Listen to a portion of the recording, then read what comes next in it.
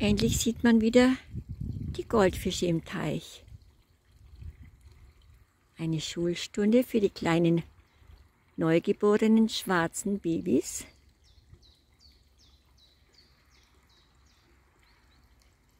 Und da ist der große Schwamm. Er schwimmt zur Wasserquelle.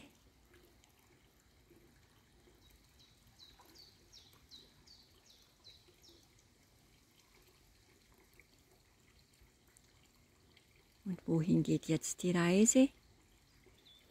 Vielleicht zu den Seerosen?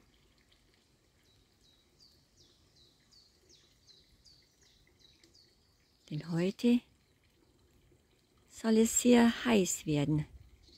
Die Tiere halten sich lieber im Schatten und unter, tief unten im Wasser auf, zum Schutz vor der Hitze und den warmen Temperaturen.